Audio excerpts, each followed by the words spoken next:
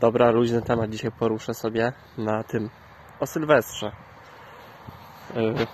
Zo- Zrobiłem ostatnio Sylwester sobie bezalkoholowy i taka śmieszna sprawa, że jak zrobiłem sobie ten bezalkoholowy Sylwester, to nagle się obraziło na mnie 3 czwarte kumpli.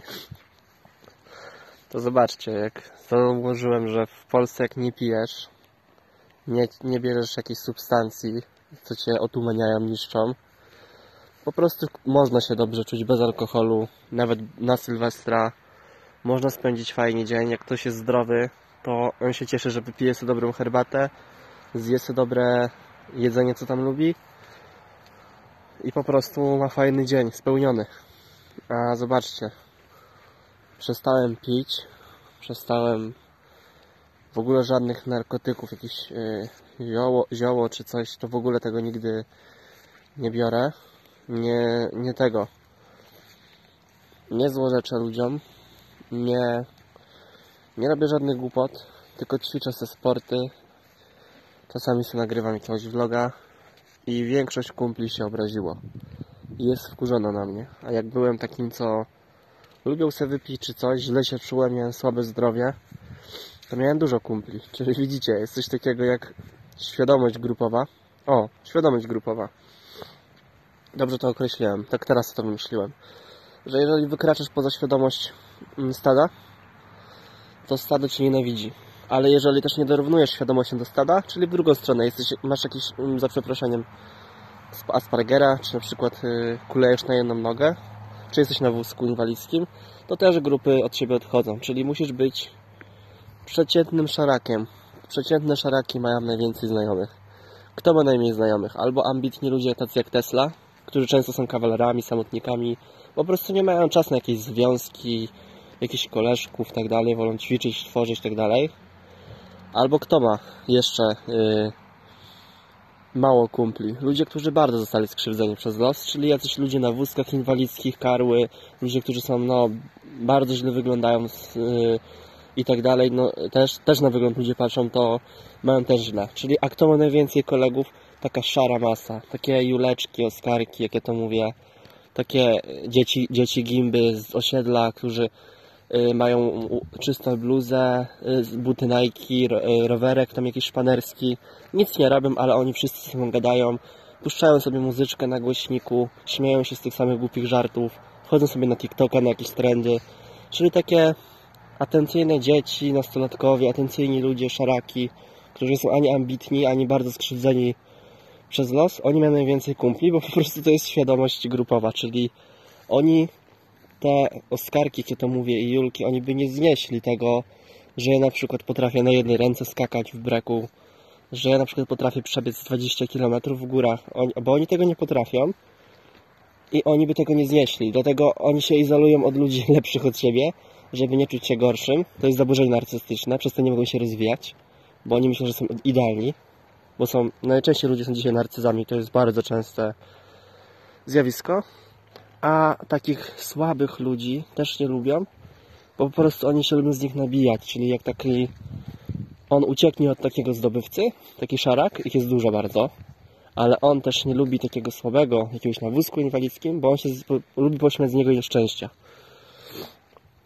To nie jest, że ja sobie coś wymyślam. Sprawdźcie sobie sami. Jak idziecie na miasto, Normalnie kopiuj wklej faceci na Sylwestra. Łysy, zakolak, kartoflany nos. 20 takich siedziało wczoraj. I wszyscy pili piwo, mieli te same żarty, czyli żarty o jakimś yy, seksie, yy, jakimś, yy, o jakiejś tam piłce nożnej, o Lewandowskim czy co tam. Dosłownie mózg skopiowany, tak jak NPC, NPC, wiecie co to NPC? I dokładnie jest takie coś, że ci ludzie, e, jak to się nazywa, dobierają się podobnie. Świadomość grupowa działa podobnie i nawet tego nie wiedzą. To samo jak ja widzę juleczki. Wszystkie juleczki mają przeciętną, e, takie polskie, juleczki taki, jakby ktoś nie wiedział, e, synonim, taka przenośnia do polskich dziewczyn przeciętnych. No i takie juleczki, no i wszystkie mają przecięt, przeciętną, przeciętną twarz, przeciętny wygląd te laski. Idą razem i się głupkowato śmieją w kółkach ale jak przyjdzie do Juleczek taka mocno brzydka baba, nie obrażając jej, oczywiście one tak myślą, znaczy e, tak źle traktują ludzi gorszych i lepszych, tłumaczę. To one wtedy, co robią? One wtedy, o światło się zapaliła, zapaliło. One wtedy, jak idzie mocno brzydka baba, ją ryją, ale wiecie co robi leczki, jak idzie ładna dziewczyna bardziej? Załóżmy, wszystkie te julki są 7 na 10, nie? Dobrały się z świadomości zbiorowej, bo się czują bezpiecznie. Ale jeżeli one się dobiorą, e, że będzie dziewczyna 10 na 10, jakaś super modelka, co każdy facet na nią patrzy, to one powiedzą tak, słuchaj, te juleczki do siebie, ja nie lubię tej, yy, załóżmy Anki, ona jest za ładna, ona jest taka i ona jest, yy, ona jest jakaś dziwna, że nienawidzą jej, dlatego, że wzbudza w nich zazdrość, że na tą ich laskę lepszą z jej grupy gapią się wszyscy goście, bo jest po prostu bardzo atrakcyjna. Samo jest z gościami. Jak jakiś gości się wyróżnia yy, w sportach, w nauce, w tym, to jest to normalne. Nie denerwujcie się tym, że będziecie mieli mało kolegów, nawet jak rzucić alkohol, bo to już jest duże wyróżnienie w Polsce, bo alkoholikiem w Polsce jest praktycznie każdy, każdy sporadycznie pije. Także rzucenie alkoholu powoduje ogromny ból dubska u 90% mężczyzn, że ty nie pijesz, oni wiedzą podświadomie, że jesteś przez to lepszy. I włączają się zaburzenia narcystyczne, że o, nie możesz być lepszy, bo oni są idealni. Pamiętajcie. I to jest właśnie... Dlatego w Polsce... E, Polska to jest dla mnie taka kolonia, i dlatego w Polsce łatwo bardzo się Polakami zarządza, bo oni sami się nienawidzą, nie? Sami sobie wbijają szpilki y, w plecy i sami po sobie no, jadą, nie?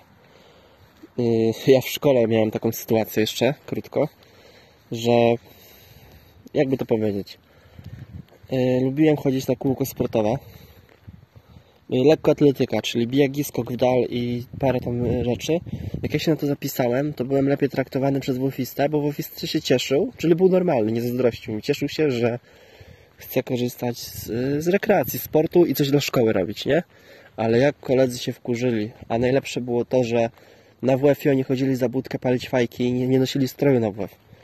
I co było? Oni mierzyli w 4-5 i to samo. Każdy jest kartoflakiem niskim, zakompleksionym. Nie mogli mnie pobić, bo byli ode mnie słabsi, ale obgadywali mnie niemiłosiernie. Po prostu szły na mnie takie plotki, że jestem ćpunem, jakimś tam LGBT jestem. No, one szły na mnie plotki, że jestem LGBT, czyli mam y, zaburzenia. Że, znaczy, że lubię, wiecie co, nie? Nie będę mówić, bo tu algorytm panuje. No, to goście po prostu już zazdrości gadali na mnie że jestem ćpunem i LGBT. No, pomimo, że nie mam nic do LGBT, nie jestem LGBT, jestem normalny.